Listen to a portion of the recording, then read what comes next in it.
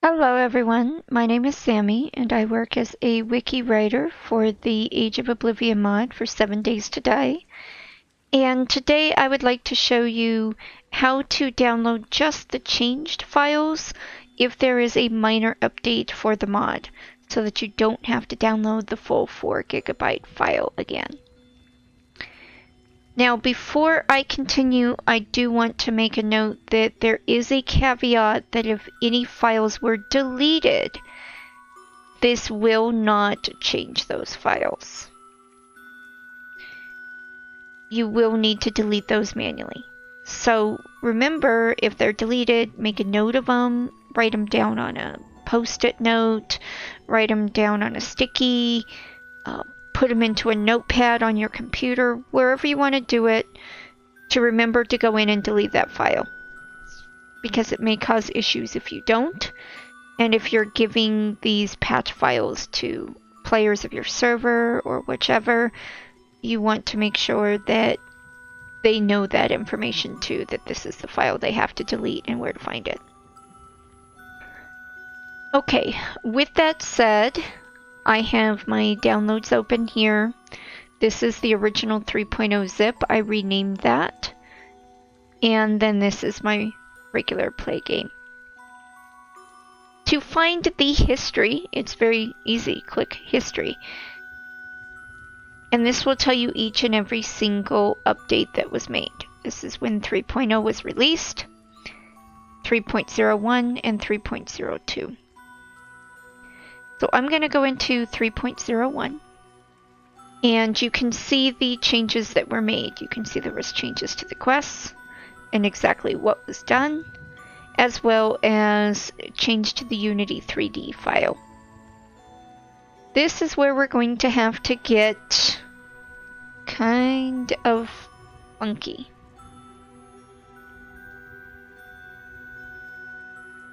Okay, so there's no way exactly to download these particular files without having to do it manually.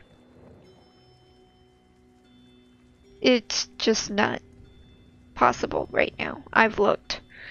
Okay, so we are going to have to make this manually. And to do that, we're going to have to follow the exact same structure as here.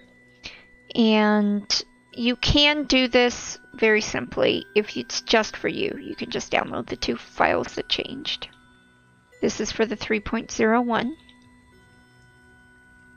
Just download the two files that changed and then you can look at where they go in your game, in mods, and then into quests, config, the quest.xml, and you can drag and drop over here. And just replace. And then go back to mods and then pets and resources and then drag and drop the Unity 3D in.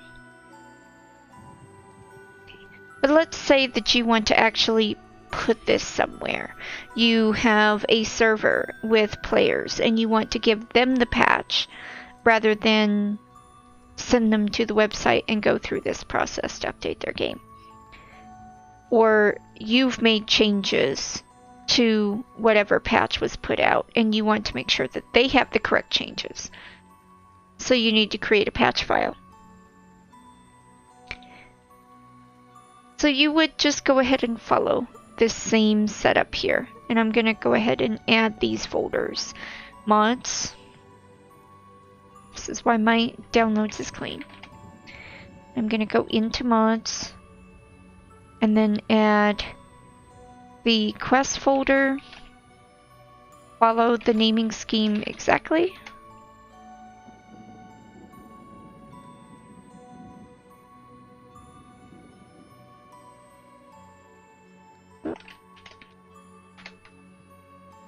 Caps does matter. And then there's config in this one. And go back over here and there is resources in this one. Okay. So now we will cut the quests Go over here. Paste.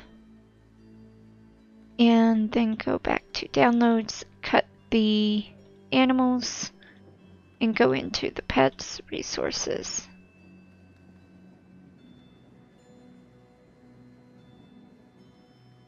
Where did my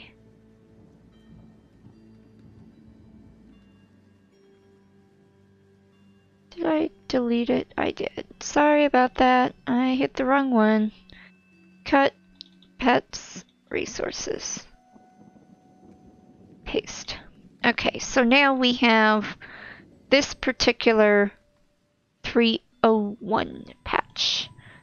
So now I'm going to go to 7-zip, add to archive, make sure the zip's in the name.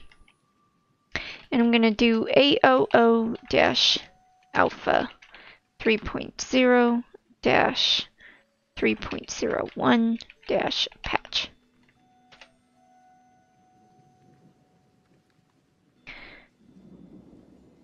Okay, we'll go back in here for my game. You open this patch file in your zip program. And now you will be able to just drag and drop. Just like you would if you had downloaded it from the website, you could just drag and drop. And it should automatically update things for you. But it will not delete anything, as I will show you now. So I am going to change this to alpha 3.01 because I'll show you 3.02.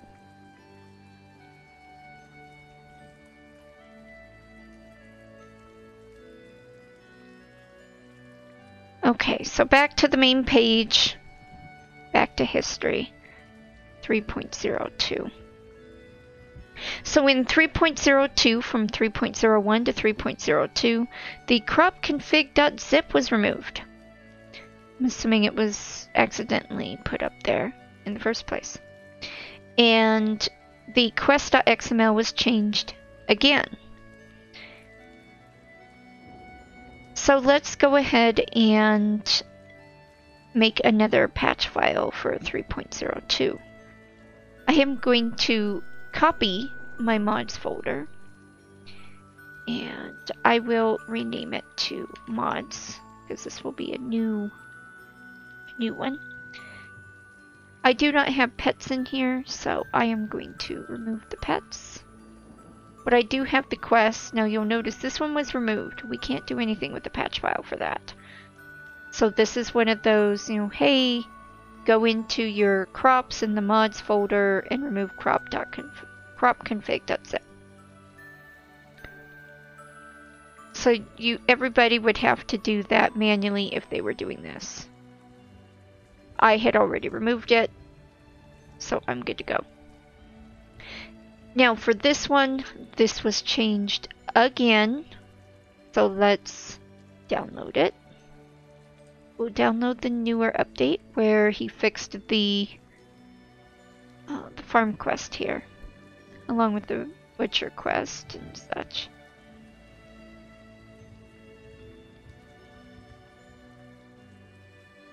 Okay, and it should have downloaded. We'll go ahead and cut this. And then go back just like we did before and paste it in. This time, yes, we'll replace it.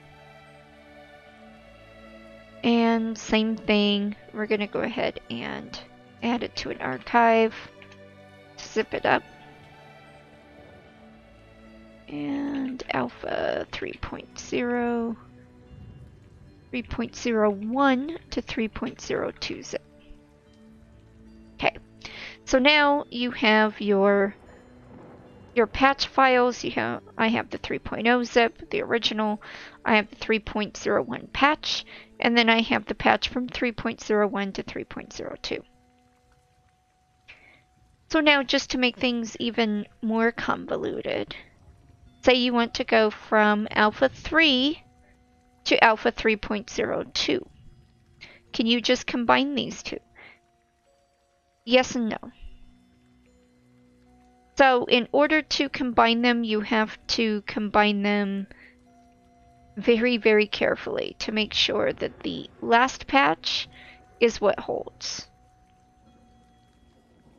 And if you have many, many files, this is going to get very, very convoluted.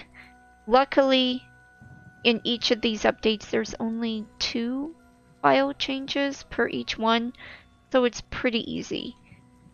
In this case, I am going to go ahead and create another archive here of the same mods folder. AOO alpha 3.0 to 3.02.